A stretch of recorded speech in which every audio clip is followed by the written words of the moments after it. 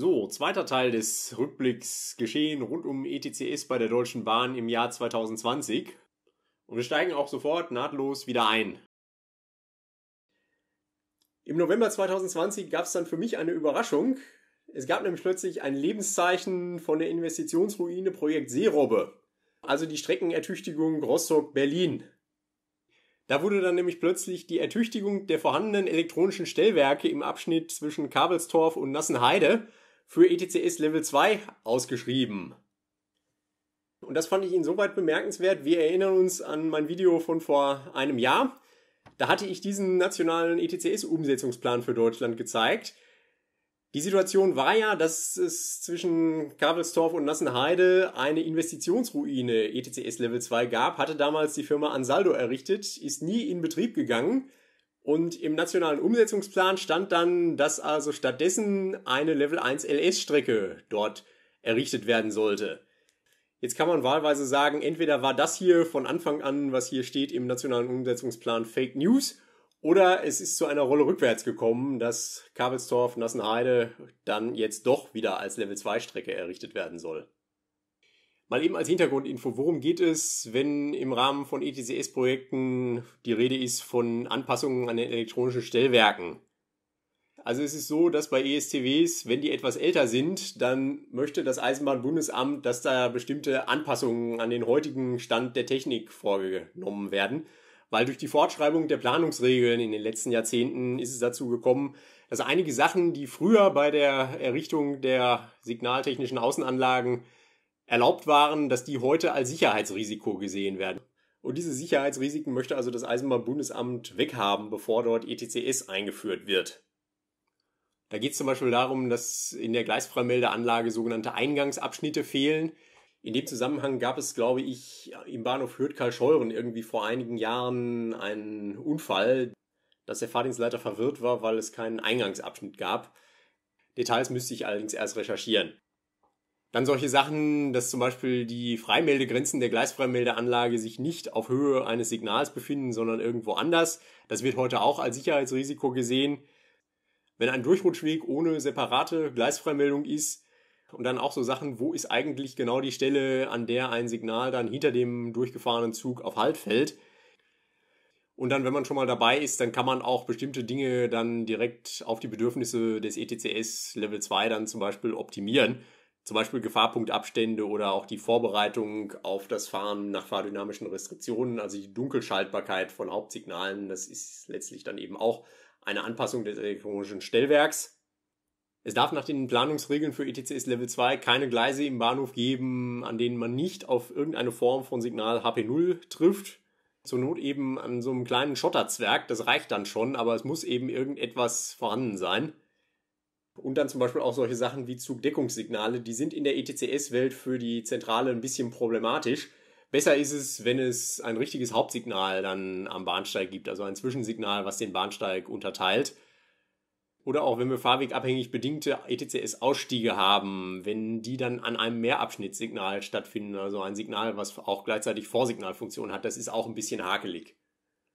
Das sind also Beispiele für Sachen, die sind nicht unbedingt sicherheitsrelevant, wie diese Befindlichkeiten mit der Gleisfreimeldeanlage, die ich zuerst genannt hatte, aber doch nice to have, wenn man also ETCS einführt. Und wenn man sowieso schon dabei ist, das elektronische Stellwerk einmal auf links zu drehen, dann kann man das dann bei dem Softwarewechsel gleich mit erledigen. Der digitale Knoten Stuttgart, alias Stuttgart 21, das ist kein reines ETCS-Projekt, sondern ein Gesamtpaket Ausrüstung der neu gebauten Bahnanlagen von Stuttgart 21 mit Leit- und Sicherungstechnik in Form von digitalen Stellwerken plus eben ETCS Level 2. Das wurde im Jahr 2020 an die Firma Thales vergeben. Wir erinnern uns vielleicht etwas grinsend an das Video von letzter Woche. Thales ist die Firma, die im Moment Schwierigkeiten hat, die ETCS-Strecke Stelle Lüneburg in Betrieb zu nehmen, weil es derzeit keine Abnahmeprüfer für ihre ETCS Level 2 Technik zu geben scheint. Aber vielleicht wird ja dieser Knoten noch durchschlagen, bevor dann der digitale Knoten in Stuttgart in Betrieb geht. Ich denke, es ist auch gar nicht ungünstig, dass hinter diesem Stuttgarter Projekt auch ein bisschen politischer Druck hinter ist, wo die Öffentlichkeit eben jedenfalls mehr drauf schaut als auf diese seltsame dreigleisige Strecke Stelle Lüneburg. Dieses Projekt Digitaler Knoten Stuttgart, kurz DKS, hat einige innovative Anteile, die also erst noch entwickelt werden müssen. Unter anderem soll es ja so werden, dass der gesamte Kernbereich des Knotens als Level 2 ohne Signale ausgeführt wird. Das heißt, es muss also Zufahrtssicherungssignale geben, die dann nicht ETCS geführte Züge draußen halten. Andererseits ist es natürlich in so einem Eisenbahnknoten ein bisschen schlecht, wenn dann ein Zug, weil eben die Aufnahme ins ETCS zum Beispiel gescheitert ist, dann vor einem Zufahrtssicherungssignal verreckt und dann da nicht weiterkommt und dann auch nicht umfahren werden kann. Deswegen hat man sich überlegt, dass man eine sogenannte dispositive Zufahrtssicherung erfinden möchte. Das bedeutet, dass also die Züge, die auf Stuttgart zulaufen, bereits relativ weit draußen im Außenbereich um Stuttgart herum ins ETCS aufgenommen werden. Sollte dieses Manöver dann scheitern, dann ist das bereits ein Hinweis, dass man sich den betroffenen Zug mal etwas genauer ansehen sollte. Und dann soll allerdings auch nach erfolgter Aufnahme ins ETCS, soll sich dann ein Apparat die Wegmessfehler, die das Fahrzeug übermittelt, dann anschauen. Weil wenn sich herausstellen sollte, dass ein Zug zwar ins ETCS aufgenommen wurde, aber aus irgendeinem verstrahlten Grund immer am oberen Rand des erlaubten Korridors beim Wegmessfehler rumkrebst, dann ist die Wahrscheinlichkeit relativ groß, dass er dann irgendwann aus der ETCS-Führung rausfallen würde. Und wenn das im Level 2 ohne Signale-Bereich passieren würde, das wäre etwas schlecht. Deswegen soll also im Zulauf auf den L2OS-Bereich geschaut werden, haben die Züge ein funktionsfähiges ETCS und wenn sie es nicht haben, sollen sie rechtzeitig vor Einfahrt in den L2OS-Bereich dann gestellt werden, an einer Stelle, wo sie dann auch möglichst wenig Behinderungen verursachen. Das ist also, was sich hinter dem Thema dispositive Zufahrtssicherung verbirgt. Dann gibt es im Streckennetz Stuttgart 21 Stellen, wo man direkt aus dem L2OS-Bereich in einen Nicht-ETCS-Bereich rausfahren muss. Da stehen nur relativ kurze Verbindungsstrecken dann zwischen den Bereichen zur Verfügung. Das heißt, es ist ein fahrwegabhängig bedingter Ausstieg aus dem ETCS aus einem L2OS-Bereich heraus erforderlich.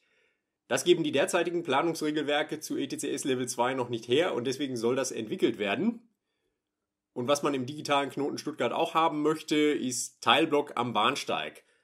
Also das, was die S-Bahn München in ihrem Stammstreckentunnel macht, nämlich sehr kurze Blockabschnitte, die jeweils durch Blockkennzeichen, Blechtafeln gekennzeichnet werden. Das möchte man also in Stuttgart auch haben, allerdings anstatt mit Linienzugbeeinflussung dann mit ETCS Level 2. Und auch das muss also im Rahmen dieses Projekts Digitaler Knoten Stuttgart dann entwickelt werden. Dabei wird übrigens auch dann die Frage zu klären sein, kriegt man diese dichte Blockteilung hin, ohne dass die Triebfahrzeugführer dann Amok laufen? Weil nach dem jetzigen Stand der ETCS-Systemspezifikation wäre es so, wenn man einen vorausfahrenden Zug hat, der dann nacheinander die Teilblockabschnitte vor einem frei fährt, dann würde es jedes Mal im Führerstand klingeln. Es kommt also dann der ETCS-Aufmerksamkeitston wegen Verlängerung der Fahrerlaubnis. Das dürfte also in erheblichem Maße nervig sein und deswegen ist wohl im Moment in Arbeit auf europäischer Ebene, ob man das für diesen speziellen Anwendungsfall dichter Blockabschnitte dann nicht auch wegbekommen könnte. Insgesamt hat die Deutsche Bahn bei diesem Stuttgarter Projekt also sehr die Leistungsfähigkeit in den Vordergrund gerückt. Es war zum Beispiel auch so, dass im Rahmen der Ausschreibung, die Thales dann hier gewonnen hat, da mussten die Signalbaufirmen also darlegen, was denn die Laufzeiten sind, die ihre digitale Stellwerkstechnik und ETCS-Technik dann hat. Also die Zeit, die vergeht zwischen dem Einstellen einer Fahrstraße und bis dann die Fahrerlaubnis über das ETCS Level 2 auf dem Fahrzeug ankommt. Das mussten die Signalbaufirmen darlegen, wie viel Zeit dann da vergehen wird weil da möchte man nämlich schneller werden als zum Beispiel das etwas behäbig agierende ETCS auf der VDE 8. Ich hatte ja zum Beispiel damals, als ich das Video gemacht hatte, wo ich den Bremskurvensprung am Abzweig Esbacher See demonstrierte, da kamen dann von Praktikern Kommentare, dass also meine Darstellung in Susi dem Zugsimulator ein etwas unrealistisches Bild der Wirklichkeit vermitteln würde, weil nämlich alle Komponenten viel zu schnell reagierten. In der echten Welt ist nämlich in so einer Situation, also Aufnahme eines Zuges in ETCS Level 2 und dann Dunkelschalten eines Zufahrtssicherungssignals, da ist einiges an Ping-Pong erforderlich, also Nachrichten, die zwischen der Strecke und dem Zug hin und her gehen müssen, bevor dann also tatsächlich das Zufahrtssicherungssignal dann dunkel schalten kann und der Zug dann eine Fahrerlaubnis bekommt. Projekt VDR 8.3, Streckenabschnitt Leipzig nach Berlin. Dort ist ebenfalls die Planung der Anpassung der Alt-ESCWs ausgeschrieben worden. Ich hatte eben schon erläutert, was da alles gemacht werden muss, möglicherweise. Diese Stellwerke stammen also auch aus den 90er Jahren und entsprechen also nicht mehr den neuesten Versionen der Planungsrichtlinien für ESTWs. ETCS-Projekte Belgien nach Aachen West, Niederlande über Viersen nach Köln und von Aachen nach Köln-Ehrenfeld habe ich jetzt hier mal zusammengefasst, weil irgendwie hängen die so ein bisschen auch miteinander zusammen. Für den Abschnitt von Belgien nach Aachen West, da ist im Jahr 2020 die Erstellung einer Bauphasenplanung und eines Bergpausenkonzepts dann ausgeschrieben worden. Genauso für die Abschnitte von der niederländischen Grenze bei Venlo nach Viersen und für den Abschnitt von Mönchengladbach-Reit nach Köln-Ehrenfeld. Für die ETCS-Ausrüstung von Venlo nach Viersen, da ist man sogar so weit gegangen und hat bereits einen Bauüberwacher sich gesucht. Und in diesem ganzen Zusammenhang ist also auch erstmals dann erwähnt worden ein künftiges neues ETCS-Projekt von Aachen über die Schnellfahrstrecke nach Köln-Ehrenfeld. ETCS-Projekt Dänemark-Flensburg. Das ist also ein relativ kleines, überschaubares Projekt. Da geht es um ein paar Kilometer ETCS-Signal geführt von der Grenze bei Padborg bis nach Flensburg. Und das ist im Jahr 2020 vergeben worden an die Firma Siemens. Die soll das errichten. In der Zukunft soll es dann von Flensburg auch noch ETCS geführt weitergehen, nämlich bis zum Rangierbahnhof Maschen. Dafür ist zuständig das ETCS-Projekt Flensburg-Maschen. Und da gab es im November 2020 dann eine drollige Bekanntmachung. Da fand nämlich das Projekt Flensburg-Maschen dann ein bisher nicht bekanntes korrespondierendes Projekt. Vorplanung Migration L1 LS und L2 im Bereich Flensburg bis Maschen. Ein zum Zeitpunkt der Ausschreibung noch nicht bekanntes korrespondierendes Projekt musste in der Planung berücksichtigt und in diese eingearbeitet werden. Der grundlegende Arbeitsauftrag bleibt weiterhin bestehen. Es steht hier leider nicht dabei, was denn dieses nicht bekannte korrespondierende Projekt ist. Ich selber tippe übrigens darauf, dass es sich dabei um das ETCS Stelle Lüneburg handelt, weil was ich nämlich an der Aufgabenstellung damals für diese Planung hier merkwürdig fand, dass also Stelle Lüneburg dort mit keinem Wort erwähnt worden war obwohl unter anderem einige Balisenpärchen, die zur Streckestelle Lüneburg gehören, sich voll im Ausrüstungsbereich dieses Projekts Flensburg-Maschen befinden. Und was ich halt auch merkwürdig fand, die ETCS-Ausrüstung Flensburg-Maschen sollte also in der Ausfahrgruppe Maschen-RBF enden und dann hätte irgendwie eine Ausrüstungslücke von zwei Kilometern oder so zur Streckestelle Lüneburg bestanden, für die irgendwie niemand zuständig war. Aber das geht leider aus dieser Veröffentlichung hier nicht hervor, ob ich mit meiner Vermutung richtig liege, dass die also das Projekt Stelle Lüneburg einfach vergessen hatten. Ich würde so dermaßen feiern, wenn es tatsächlich so wäre. Naja. Es gab noch eine weitere Veröffentlichung des Projekts Flensburg-Maschen und zwar dieses hier. Um sicherzustellen, dass die Planungen ausschließlich auf Grundstücken der Deutschen Bahn AG stattfinden, mussten die aktuellen Grundstücksgrenzen ermittelt werden, da keine Flimas-Pläne vorliegen. Der bereits gebundene Auftragnehmer muss parallel zu seinen Planungen sicherstellen, dass sich diese ausschließlich auf Grundstücke der DB AG begrenzen. Die einzelnen Planenden des Auftragnehmers können eigenständig und im Einzelfall prüfen, ob Grundstücke Dritter betroffen sein könnten und gegebenenfalls ihre Planung anpassen. Der Auftragnehmer weiß zudem aufgrund seiner Ortsbegehungen um die örtlichen Restriktionen. Wird während der Planung kurzfristig eine Information benötigt, ob der Planungsbereich auf Grundstücken der DB AG liegt, muss der Auftragnehmer gegebenenfalls schnell reagieren können. Wenn diese Information erst von einem Dritten eingeholt werden muss, kommt es hier zu erheblichen Verzögerungen in der Planung. Gut, das ist also eine kleine Erschwernis, mit der sich dieses Planungsprojekt herumschlagen muss. Es wäre alles sehr viel einfacher, wenn die Deutsche Bahn AG die hier genannten Flimas-Pläne beistellen könnte. Dann könnte man das einfach alles da draus entnehmen. So, dann mal eben ein paar Worte zu ETCS-Strecken, die bereits in Betrieb sind. Am Erfurter Stern wurden dieses Jahr einige Sachen im Amtsblatt bekannt gegeben, die also die Leistungsfähigkeit steigern sollen und dazu führen sollen, dass bestimmte Auflagen aus der Zulassung dann mal entfallen können. Und zwar scheint auf dem Ast nach Eisenach auch so ein 740 Meter Güterzugprojekt zu laufen. ETCS-Ausrüstung Errichtung 740 Meter Gleisnutzlänge im Bahnhof Wuter und in Mechterstedt-Sittelstedt. Dann die nächste Veröffentlichung, Anpassung der ETCS-Ausrüstung Knoten Erfurt, Signaldunkelschaltung. Wenn man eine Nachbildung des Bahnhofs Erfurt in SUSI 3 kennt, der weiß, dass also im Bahnhof Erfurt im Inbetriebnahmezustand des ETCS kein Fahren nach fahrdynamischen Restriktionen projektiert war. Das soll also jetzt offenbar nachgefrickelt werden. Aus der Abnahmeprüfung Inbetriebnahme VDE 8 und der dazu vom EBA verfassten Inbetriebnahmegenehmigung Knoten Erfurt ergaben sich mehrere Forderungen, für die seinerzeit die Grundlagen im geltenden Vorschriftenwerk fehlten. In der Zwischenzeit wurde das Vorschriftenwerk entsprechend fortgeschrieben bzw. angepasst, sodass die seinerzeit festgestellten Auflagenpunkte erfüllt werden können. Hierzu gehören Anordnungen Datenpunkte Typ 20, das sind Datenpunkte an Hauptsignalen, in den Gleisen 3 und 13 und 8 und 18 bei diesen Gleisen hatte man im Inbetriebnahmezustand es einfach so gelöst, dass man gesagt hat, das ist kein ETCS-Bereich und ein Zug, der dahin fährt, der muss also vorher entlassen werden aus dem ETCS.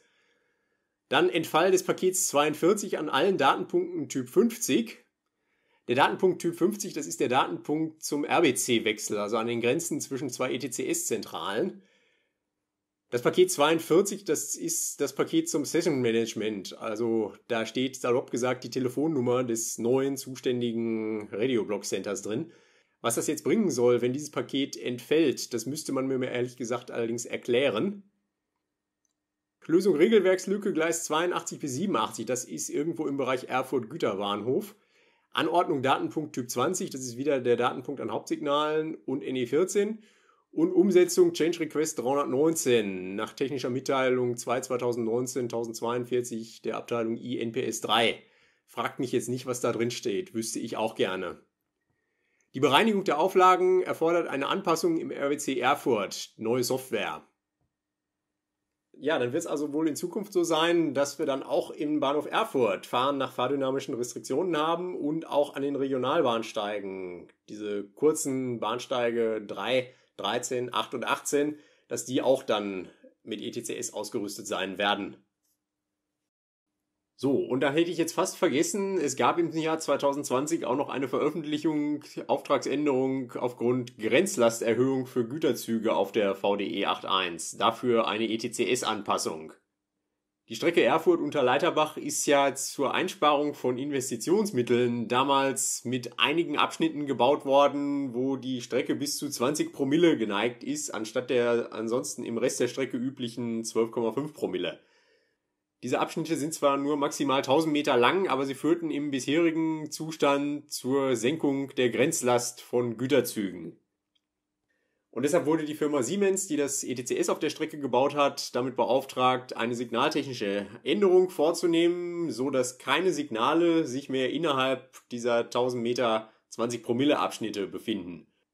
Ich habe mir das in einem Fall mal angeschaut, was dort gemacht worden ist, am Tunnel Augustaburg von Erfurt kommend.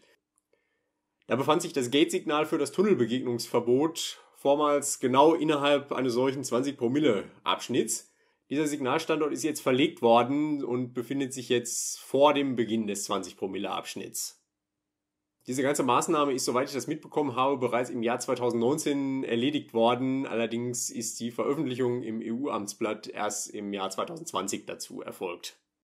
Das bedeutet natürlich, dass ich auch noch eine kleine Hausaufgabe an Land gezogen habe, um diese Grenzlasterhöhung dann auch in der ZUSI 3 Umsetzung der Strecke nachzuturnen. Da muss ich mal gucken, wie ich das mache. Schritt eins wäre schon mal, dass ich irgendwie versuchen muss, sämtliche geänderten Signalstandorte zusammenzukriegen. Anders als die Firma Siemens kann ich allerdings schlecht die Hand dafür aufhalten. Die haben ja, wie man hört, wohl eine Million Euro für diese Heldentat bekommen. Jo, jetzt kommen wir so langsam dann zum Ende. Also keine neue Nachrichtenlage aus den Ausschreibungsaktivitäten gab es für die Projekte Wendlingen-Ulm Wobei ich da sagen muss, bei diesem Projekt gilt wahrscheinlich, keine Nachrichten sind gute Nachrichten. Ich schätze, das wird durchlaufen. Das ist also die neue Schnellfahrstrecke über die Schwäbische Alb. Dann gab es nichts Neues zu der Investitionsruine der Firma Ansaldo, Projekt Post Nord und Lückenschluss Post Nord, also der Anschluss des Ganzen an den Korridor A. Tschechien Schirnding, nichts Neues. Knappenrode Horka, nichts Neues. Belgien nach Aachen Hauptbahnhof, nichts Neues. VDE 83 Abschnitt Halle Bitterfeld, keine Neuigkeiten. VDE 9 Dresden nach Koswig, nichts Neues. Lückenschluss Zero B, nichts Neues. Da geht es also darum, von Nassenheide dann irgendwie rund um Berlin sich an die VDE 8 anzuschließen. Und zum Lückenschluss VDE 8 nach VDE 9 ebenfalls nichts Neues. Dann etwas aus dem Bereich Basisinfrastruktur. Und zwar war es dann im August 2020 soweit, dass die DB Netz dann gesagt hat, wir haben inzwischen jetzt so viele ETCS-Zentralen, wir brauchen jetzt mal ein Online-Key-Management-Center. Da geht es also darum, eine ETCS-Zentrale kann ja nur mit den Fahrzeugen kommunizieren, wenn sie deren kryptografische Schlüssel vorliegen hat. Ansonsten kann das Fahrzeug nicht in die ETCS-Führung aufgenommen werden. Damit kann man natürlich Fahrzeuge, die keine Zulassung zum Beispiel haben, dann auch aktiv draußen halten. Dafür ist das also unter anderem auch nützlich. Und offenbar war es also bis jetzt so, wenn also neue Schlüssel in die Zentralen eingespielt werden mussten, dass das möglicherweise durch Turnschuhnetzwerk dann irgendwie passiert ist, dass irgendeiner mit einem USB-Stick die ESCW-Unterzentrale und das RBC aufgesucht hat, um die neuen Dateien da einzuspielen. Da will man jetzt also irgendwie eine netzwerkfähige Lösung dann für haben. Das Online-KMC soll das manuelle Verfahren automatisieren und die heute noch sehr langen Bearbeitungszeiten von der Beantragung neuer Schlüssel bis zur Einspielung in die Fahrzeuge und RBCs drastisch zu verkürzen. Nach dem organisatorischen Vorlauf von wenigen Tagen, Beantragung neuer Schlüssel, gegebenenfalls Neuregistrierung von Fahrzeugen, soll die Erzeugung und Verteilung der Schlüssel online, das heißt sofort erfolgen. Weitere Verbesserungen des Online-KMC gegenüber dem heutigen Offline-Verfahren, Einführung standardisierter und aktueller Security-Verfahren. Die Einführung eines Online-KMC stellt einen wichtigen Baustein für die Umsetzung eines generischen Security-Konzepts dar. Die Erarbeitung und Umsetzung eines solchen Konzeptes wird für die Erfüllung der gesetzlichen Vorgaben benötigt. Aha. Deshalb wird auch eine Zertifizierung nach IEC-Norm 15408 angestrebt. Die derzeit verwendeten und veralteten symmetrischen Transportschlüssel werden dabei abgelöst. Ja, und dann letzter Punkt, eine Ausschreibung, die zu keinem Ergebnis geführt hat im Dezember 2020. Das Eisenbahnbundesamt wollte am Standort München ein ETCS-Labor einrichten mit einem Fahrsimulator. Forschungsprojekt DSZF Entwicklung ETCS-Labor. Es soll ein ERTMS-ETCS-Labor in der Außenstelle München, Sachgebiet 226 des Eisenbahnbundesamtes eingerichtet werden. Das Labor beinhaltet die Simulationsmöglichkeit aller notwendigen Infrastruktur- und Fahrzeugkomponenten des europäischen Zugsicherungssystems ETCS und die Möglichkeit der Anbindung realer ETCS-Hardware. Dazu gehört auch ein rudimentärer Fahrsimulator mit den wichtigsten Führerstandsanzeigen und Bedienelementen, um projektierte Strecken direkt abfahren und damit verifizieren zu können. Naja, und dann hier unten allerdings der Vermerk, ein Auftrag los wurde vergeben. Nein, wegen sonstigen Gründen, Einstellung des Verfahrens. Was auch immer das jetzt heißen mag. Vielleicht gab es niemanden, der das dann tatsächlich anbieten konnte oder wollte. Oder vielleicht hat das Eisenbahnbundesamt auch gesagt, wir machen einfach eine freihändige Vergabe und kaufen uns eine ZUSI-Profi-Lizenz, um an einem rudimentären Fahrsimulator dann Strecken abfahren und verifizieren zu können. Nein, glaube ich nicht. Kleiner Scherz. Ja, das war's dann jedenfalls. Ich danke euch fürs Zuschauen. Ich hoffe, ihr fandet das interessant. Und dann sehen wir uns demnächst auf dieser Welle. Tschüss.